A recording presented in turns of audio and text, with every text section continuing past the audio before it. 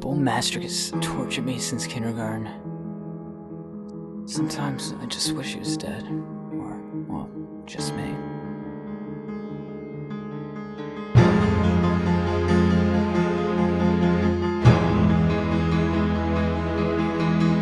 There's only two things to know about my grandfather.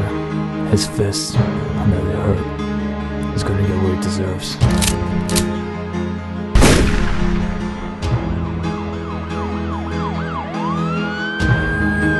This is your new room, Victor. You should get to know your roommate.